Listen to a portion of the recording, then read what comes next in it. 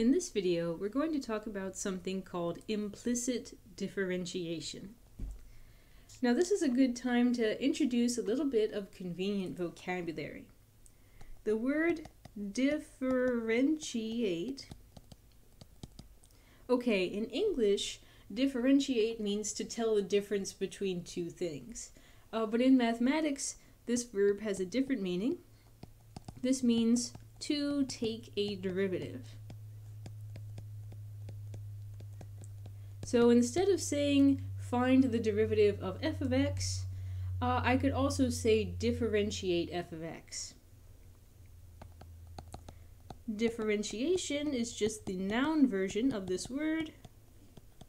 This is the process of finding a derivative.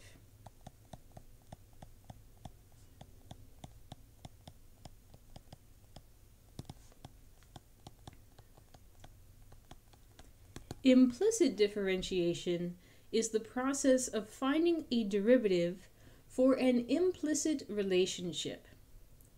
An implicit relationship is something like the one that's given here. x squared plus y squared equals 4. Imagine that we took this equation and we tried to solve it and isolate y. We could begin to isolate y by moving the x squared to the other side of the equation y squared equals 4 take away x squared. But if you try to completely solve for y, if you try to get rid of that square, you run into an issue.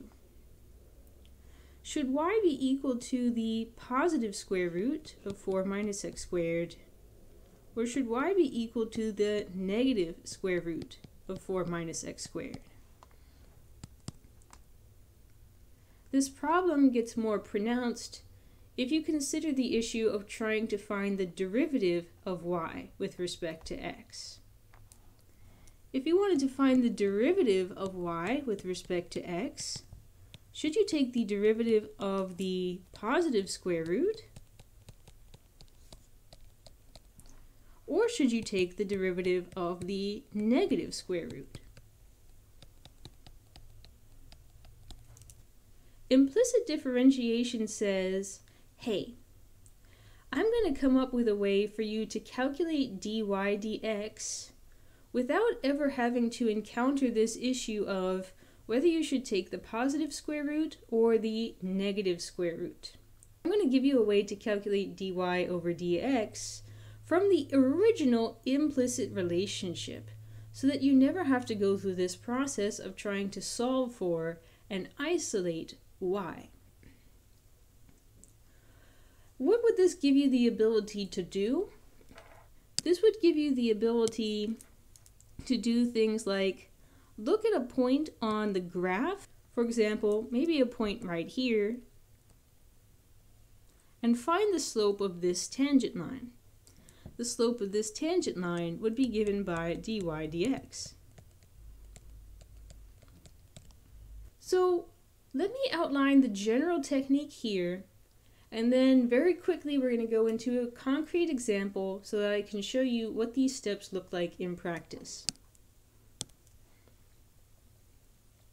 The first thing that you want to do when you're finding dy dx using an implicit relationship is you want to take the equation which relates x and y and apply d dx to both sides.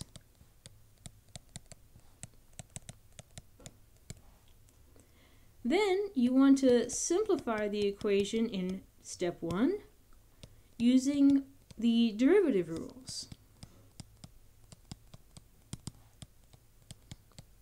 And anytime you encounter the derivative with respect to x of y, go ahead and just write that as dy dx. That's the slope of the tangent line. That's the quantity that you're trying to find. Then Solve the equation in step 2 for dy dx. So let's go back to the implicit relationship x squared plus y squared equals 4.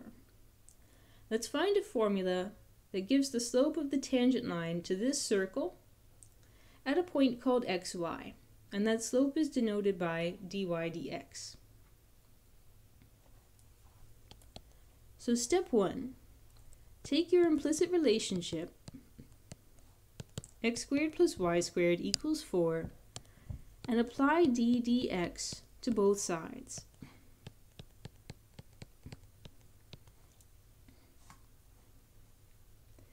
So let's now try and simplify this expression using the derivative rules. For example, I could start by using the sum rule to say that this is the derivative of x squared plus the derivative of y squared equals the derivative of 4. Now if I take x squared and I take the derivative with respect to x, power rule says that that is equal to 2x. I also know that if I take the derivative of a constant, like 4, the derivative of a constant is equal to 0. However, where things get interesting is where we're taking the derivative of y squared. Although it may not seem like it at first, this is a situation where we will need to use the chain rule. In this case, our outer function is given by the function which squares things, blank squared. So the derivative of the outer function is given by 2 times blank.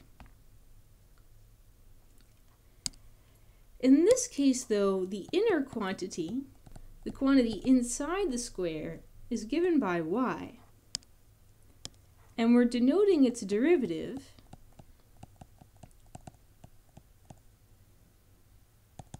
by dy dx. So now, let me go ahead and use that information to find the derivative with respect to x of y squared. The outer function's derivative, which is 2 times blank, with the inner function plugged in, multiplied by the derivative of the inner function. That is equal to 0. So the derivative of y squared with respect to x is equal to 2y times dy dx. Step 3 is now just to get dy dx isolated on one side of the equation. So step number 3 is to take this equation, isolate dy dx. So, for example, I might start by moving that term 2x to the right side. And then I might get rid of this multiplied 2y by dividing both sides by 2y.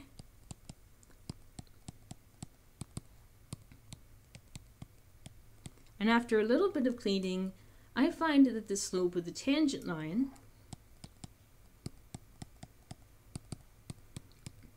is given by negative x divided by positive y. Now it's a little unusual for us to obtain a derivative which contains both x's and y's in its formula. But in the case where you're working with an implicit relationship, this is not only okay, it's also expected. In implicit differentiation, you can expect that your dy dx formula will be in terms of both an x and a y. Because of that, if someone asks you for the slope of the tangent line at a specific location, they do need to tell you both the x value and the y value.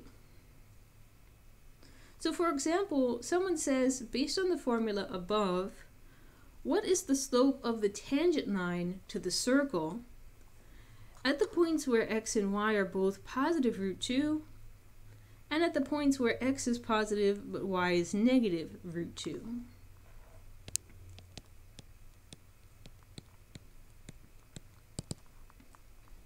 To find the slope of the tangent line at the first point, all we have to do is plug this x and this y into the formula that gives us the slope of the tangent line at any point. So dy dx in this case would be equal to negative x divided by y, which would be minus 1. And at the point where x is positive root 2 and y is negative root 2, if I plug that x and y into the formula, I get the tangent line with slope negative root 2 divided by negative root 2, which is positive 1. Once again, let's check if these answers are reasonable.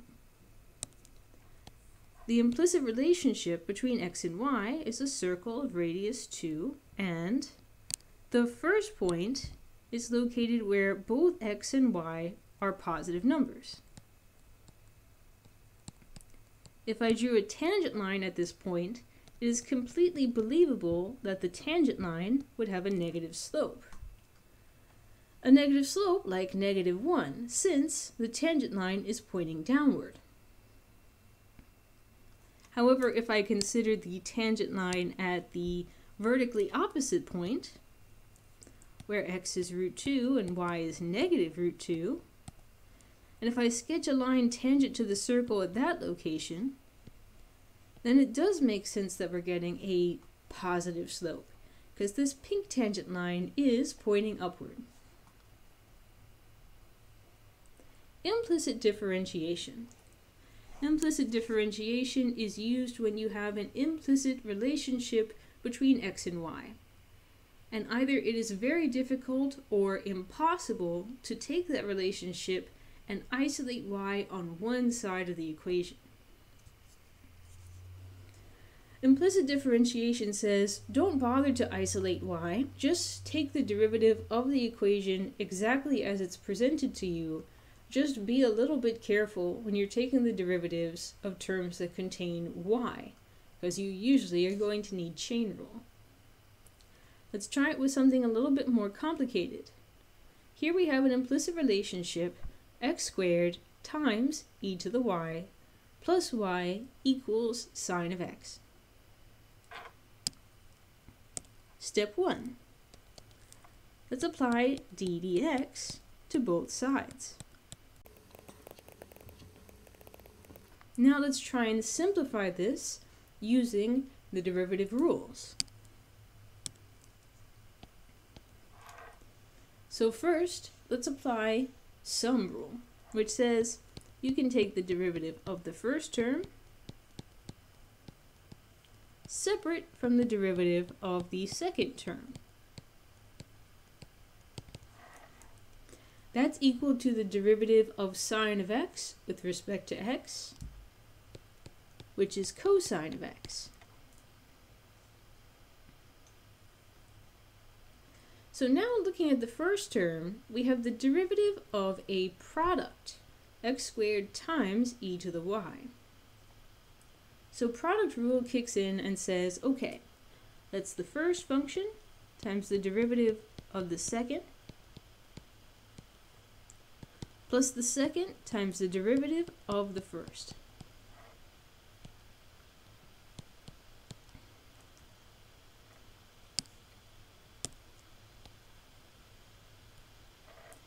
Meanwhile, the derivative with respect to x of y is being called just dy dx for short.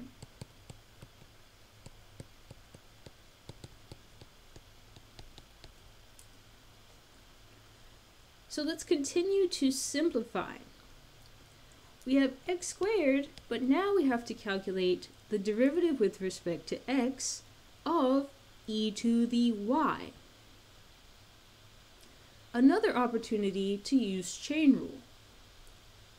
Now remember in our chain rule video that we actually had a shortcut for the specific case where we had e to the something. If we had e to the something, the derivative of that was copy paste e to the something and then multiply that by the derivative of that something. The derivative of y is what we're calling dy dx. that completes the first term. Next we have e to the y times the derivative of x squared with respect to x. So x squared, derivative with respect to x, is given by 2 times x.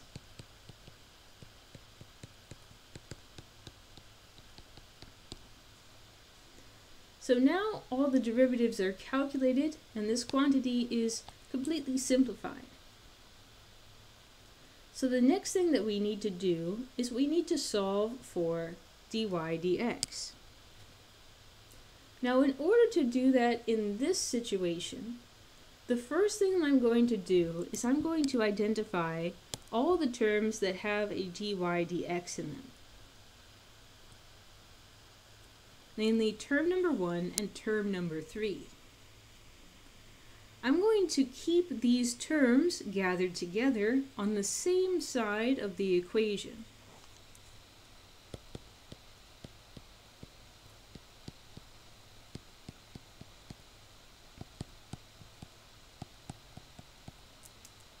However, any term that does not contain dy dx, I'm going to banish to the other side of the equation. Cosine x does not have dy dx, so I'm going to leave it on the right side. This middle term also does not contain a dy dx, so I'm going to move it to the right side. 2x e to the y.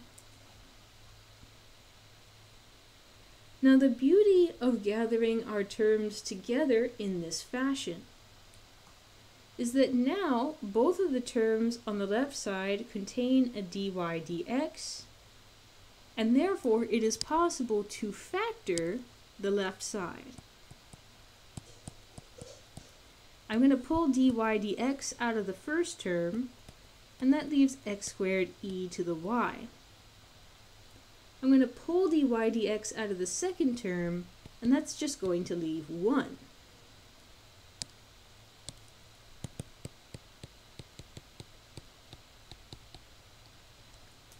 Finally, the only thing that we have left to do in order to isolate dy over dx is to get rid of this big multiplied quantity in the parentheses. To get rid of a multiplied quantity, all that you need to do is divide out that quantity.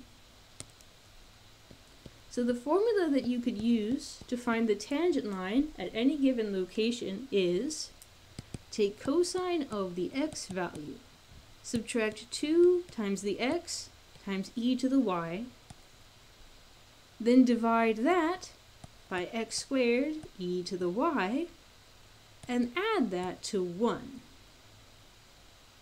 This formula will give you the slope of the tangent line to the relationship at any given point.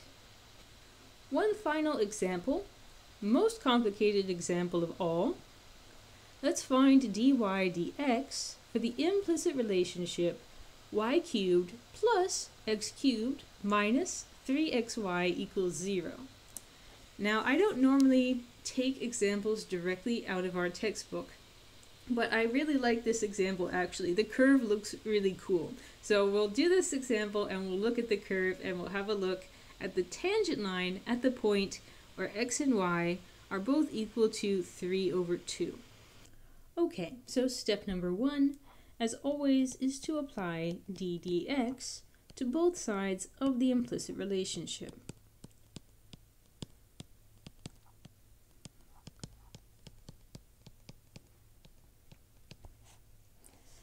So let's apply the sum rule, which says that this is the derivative with respect to x of y to the third power plus the derivative with respect to x of x to the third power minus 3 times the derivative with respect to x of x times y. On the far side of the equation, the derivative of 0, 0 is constant, so the result is again 0. So what's the derivative with respect to x of y to the third power? The situation here is very similar to when we have y to the second power in our very first example. In this case, the outer function is the cube function, and the derivative of the outer function is 3 blank squared. The inner function is y.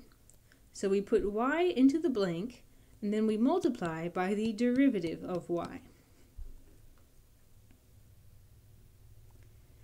So then we have the derivative with respect to x of x cubed. In that case, we can use power rule directly, and that's 3 times x squared. Things get more interesting when we consider the product in the final term, because here we need to use product rule.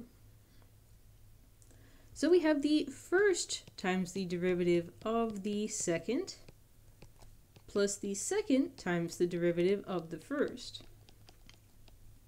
And this is all equal to 0. Finally, let's do a little bit of cleaning. We have 3 times y squared dy dx. Then the 3x squared gets pulled down to the next line. Then we have negative 3 times x times dy dx. And in the back, the derivative of x with respect to x is just 1. So we have minus 3 times y times 1. And that is equal to 0. Once again, in order to solve for dy dx, we're going to start by identifying the terms which contain a dy dx and the terms that do not.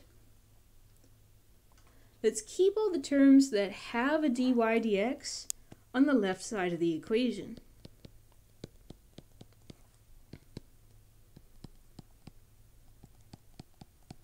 And let's move all the other terms to the right side of the equation. So 3y minus 3x squared. Then let's do a little bit of factoring. 3y squared minus 3x. Factor dy dx out of both terms. And finally, to completely isolate dy dx, let's divide by this multiplied quantity here.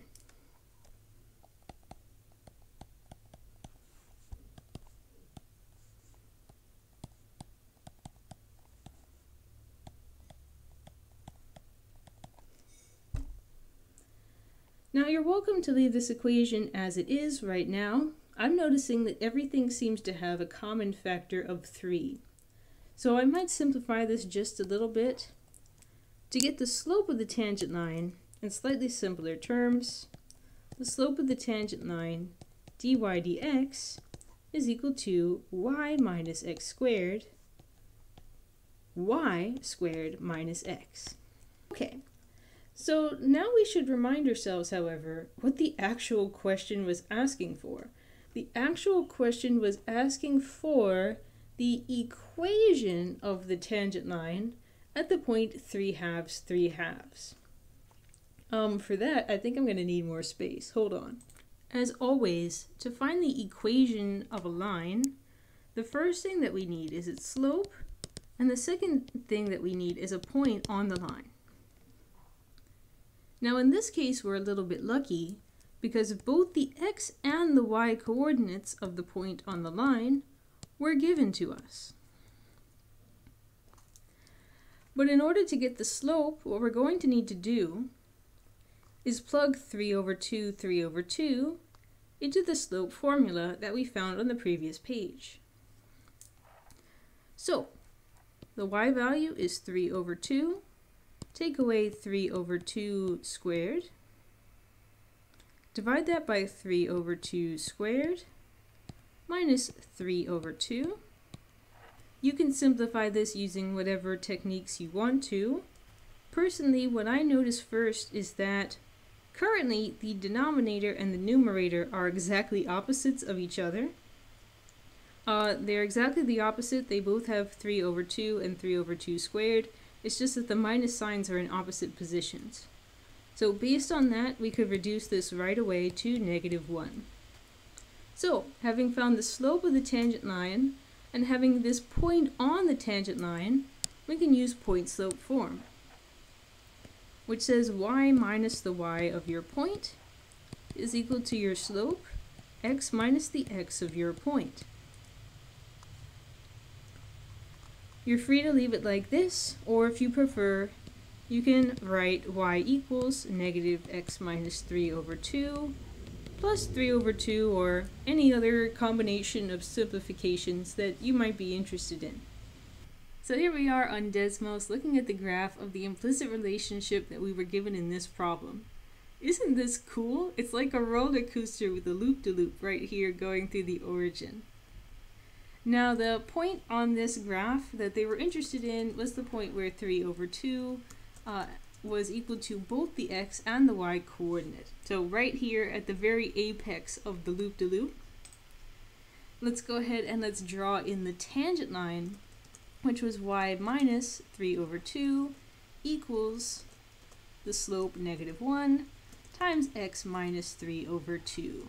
And sure enough, that purple line is perfectly tangent to the loop-de-loop -loop graph at the orange point. So that concludes today's material. We talked about implicit differentiation, which was the technique that could be used to find the slope of a tangent line to a graph that didn't necessarily represent the graph of a function. Implicit differentiation gave us a way to take the original unaltered equation and find the slope of the tangent line directly from that.